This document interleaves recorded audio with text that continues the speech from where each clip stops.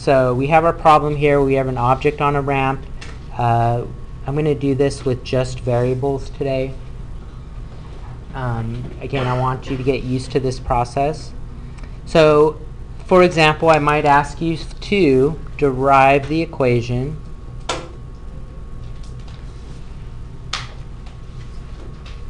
for acceleration.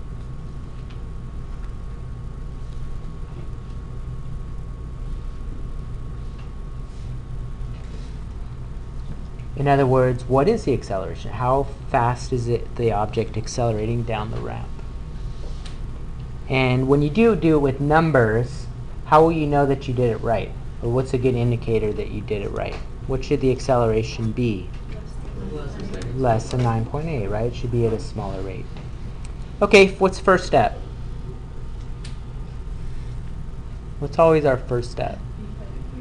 Do our free body diagram.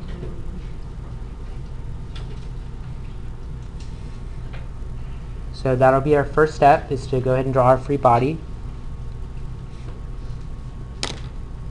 Okay, so do we still have gravity? Yeah. Yep. What direction is gravity? How down? Straight down or down the ramp? Straight down. Good. So our acceleration of gravity is going to be straight down.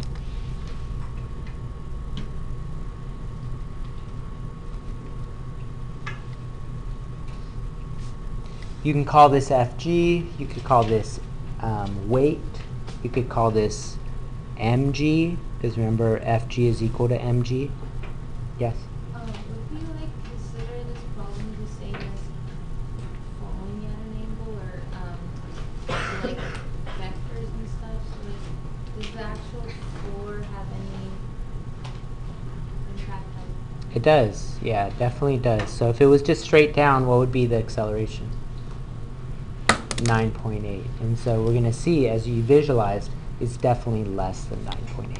So we're going to take that into account. Does gravity exert the same force on everything? It's just the same acceleration. Uh, that's a good question. Does gravity ex- exert the same force on everything, or is it just the acceleration? Just the acceleration. And how do we know? What is the force of gravity equal to? The mass times gravity. So if the mass were to double, what would happen to the force of gravity? It would also double. Um, all right. Any other forces acting on this? Normal force. Now, what direction is the normal force? Is it also straight up? Perpendicular. Remember the word normal, that's what it means. Perpendicular. So as you rotate the axis, I mean as you uh, rotate our plane, if we were to change the angle of our plane, the normal force would also change. So if you're straight up and down, it'd be straight up and down. At this point, it's going to be perpendicular. Anything else? Friction. Now what direction is friction? So friction would be this way.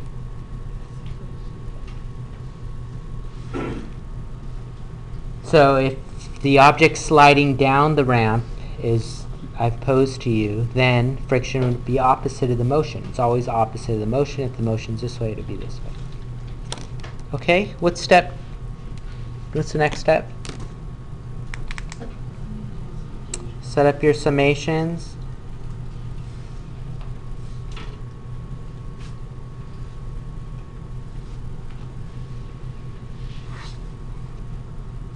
Okay, now we do have an issue here because this is supposed to be summation in x and summation in y. Well, what's our issue? Gravity. How many forces do we have that are pure x or pure y? One. Okay, and so we actually have two forces that are not. So one of the things you could do would be to go ahead and fix these two forces, fix the normal force and fix the frictional force so that they are in the x direction and y direction. However, we're going to do something else. What we're going to do is we're going to actually rotate our axis.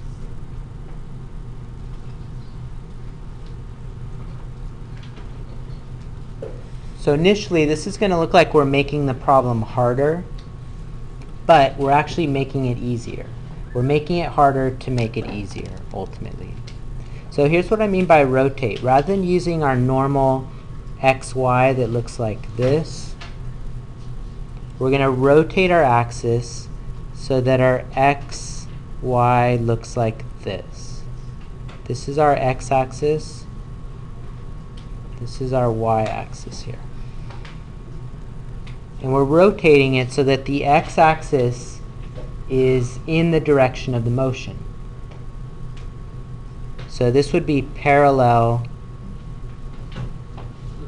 to the plane.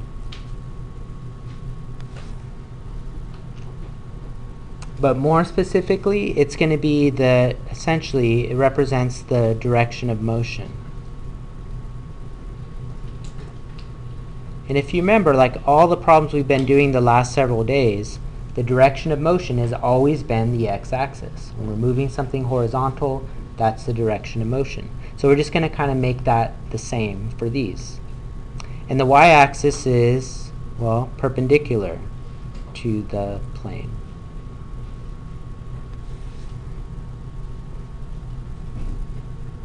Yeah. Um, how would that affect your force of gravity, like the direction? Would it be still be, um, the direction of your original downward? Yeah.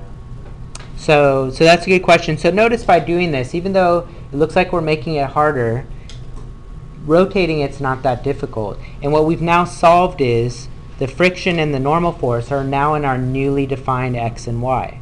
So f- normal would be y, friction would be x. However, what did we just do to gravity? We screwed up gravity. So gravity is now in both directions, right? It's in both. And so rather than having to fix two, however, we only have to fix one. And so we do have to fix our gravitational, uh, uh, our gravitational force, um, but we don't have to fix two. We just have to fix one. All right, so let's go ahead and do that. That would be the kind of the next step. So I'll call step C. We're gonna quote fix gravity. And what I mean by that is we're going to go ahead and find those x, y components. We're going to change gravity into pure x's and pure y's. So visually what that looks like is we're going to have a component of gravity going this way. And we're going to have a component of gravity going this way.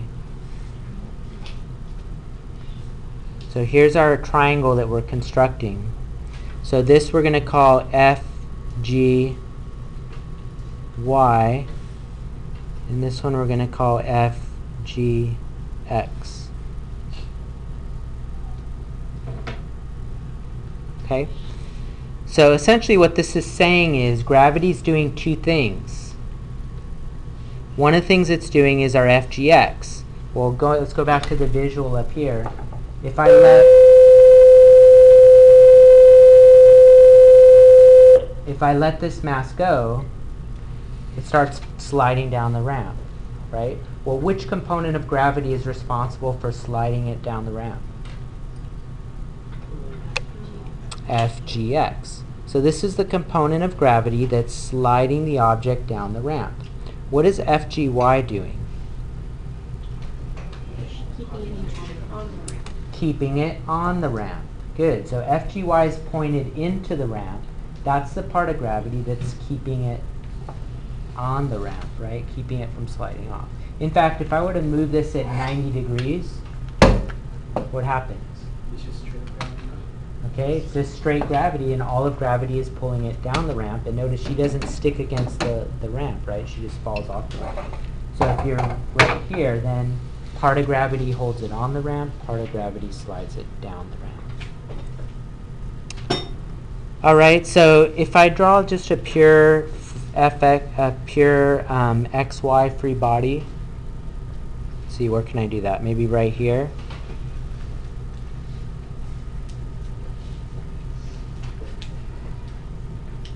Notice that I have f g y, f g x, normal, and friction. So we have our normal here, we have our friction, those were the same. And then these are the components, the two components of gravity that we fixed, or we're about, we're gonna fix, it- we're about to fix them. So the next thing we do have to do is solve this triangle here. Okay, and so a big thing is to say, all right, you are given the angle of the ramp, how much it was inclined at. You do have to figure out where does that angle belong. Okay, where does that angle belong? And this picture is kind of it's getting big. So let me show you how we will derive that angle. Here's our angle theta. Okay, so remember gravity came straight down like this. This would be kind of our FG here. And then we had that normal force kind of coming this way. And then we kind of crossed it over here. So let's just derive this. So notice this is a right triangle here, right? If this angle was 30, what would this angle be right here? 60, right? And if this angle is 60, what would this angle be right here? 30. So hopefully you can see that this angle theta right here, 30, is the same as this angle 30 right here. And if we go back to our drawing, what that means is, is this angle right here is the same as this angle right here. Theta. Now if you didn't follow that geometry, that's okay. You don't have to derive the geometry every time you do this. Just remember that this angle and this angle will always be the same, these two. Okay, good? Um, all right, so that brings us back to our triangle, and my paper is a little cluttered, so let me just blow this up here. So this is our gravity, Fg. Here's our triangle that we just drew, right? This was our FGY. This is our FGX. This is our angle theta. So hopefully once you see this, you can see, okay, it's not too hard to find these, the components. This is the adjacent component. How would we find the adjacent component? We, use our cosine. So we could write this as f g cosine theta. Remember, fg is just mg. So if you wanted to skip a step, you could call this mg cosine theta. And then this guy right here, this is the opposite side of our triangle. What's this going to be? Okay, fg sine theta. Or mg sine theta.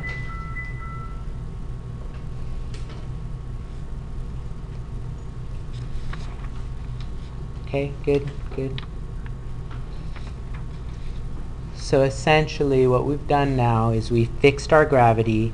We could write fgx as mg sine theta and fg y, y is mg cosine theta.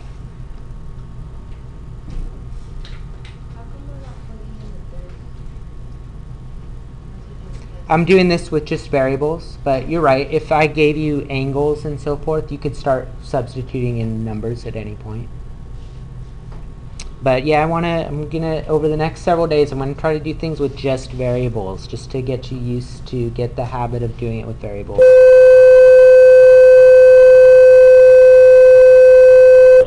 So let's do our x equation here. What do we have on our x? Well, at this point it should be easy. This is the hardest part, and it is hard the first few times you do it to get to this point. But once you've gotten to this, then it's straightforward. It's everything we've been doing. So for example, in the x direction, we would write this as mg sine theta minus force of friction equals max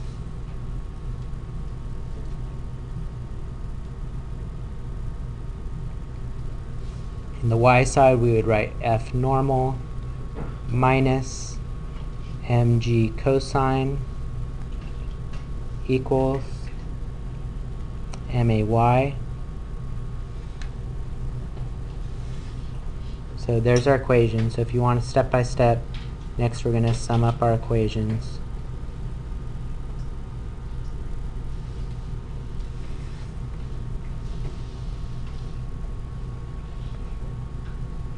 And then at this point, you would just start solving depending on what they're asking for. Now I asked you to derive the equation for acceleration, so that's what we're going to do. Uh, do we know anything about either of these accelerations?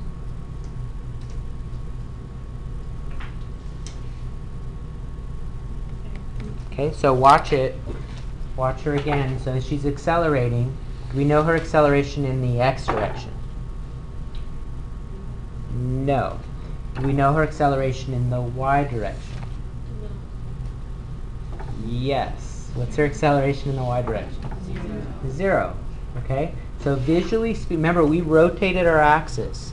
So our y direction is perpendicular to the plane. So for her to have a vertical acceleration, that would mean that she's off the surface. Okay, so she would have to jump up like this. That would give her a vertical A. Or through the ramp. That would give her a vertical A. But she's only going in our horizontal X. That's another reason why we rotate our axis. So we get that nice vertical A is equal to zero like before.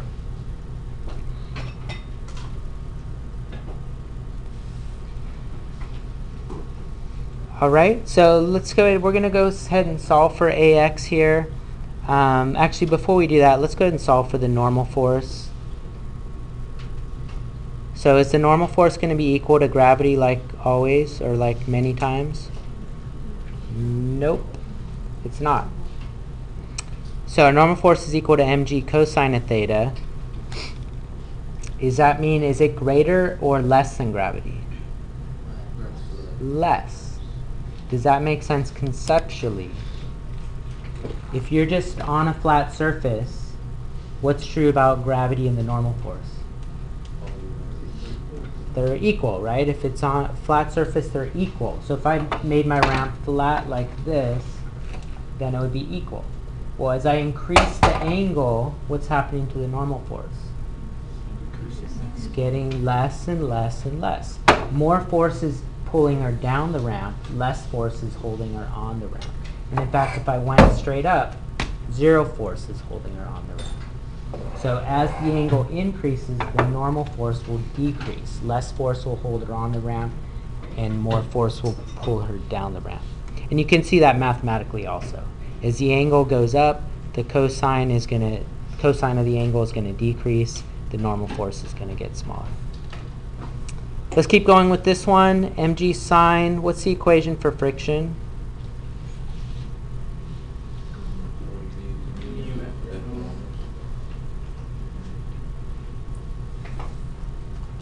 Okay, now I would ask you to keep going because we do know the normal force, or at least the equation for the normal force.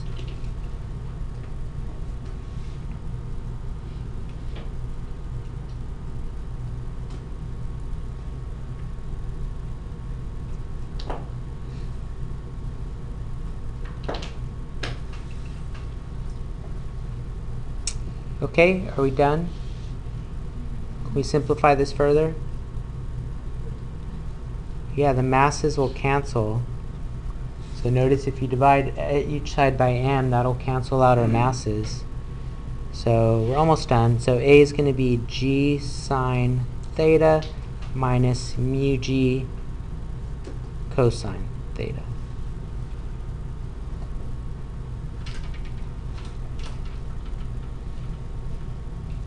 Okay, am I going to give you this equation on a test?